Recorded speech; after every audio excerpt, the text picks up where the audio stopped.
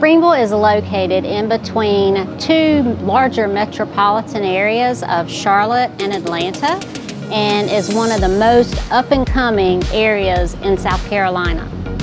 In the last 20 years, Greenville has made huge improvements to attract new businesses, including the downtown residential district.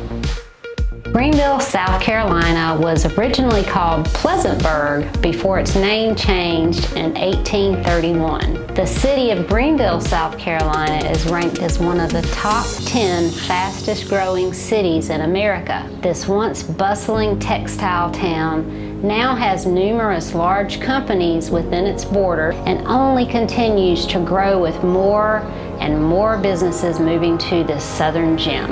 Greenville is a small city with tons of big city amenities. Falls Park is home to a 36 acre urban oasis in the heart of downtown. Residents love Falls Park, which features waterfalls, trails, and gardens, and a famous suspension bridge overlooking the Reedy River.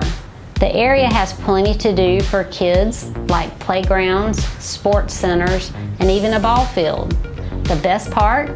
Dining options range from casual food trucks to family restaurants, which make this tiny town feel like Manhattan's little sister. Greenville features a variety of things to do year-round, including the popular downtown farmers market from May to October, Fall for Greenville, Artisphere, Euphoria, and more. The weather is pretty awesome year-round. People choose to move here because of the pleasant weather. There are four distinct seasons here and it's generally warm and comfortable.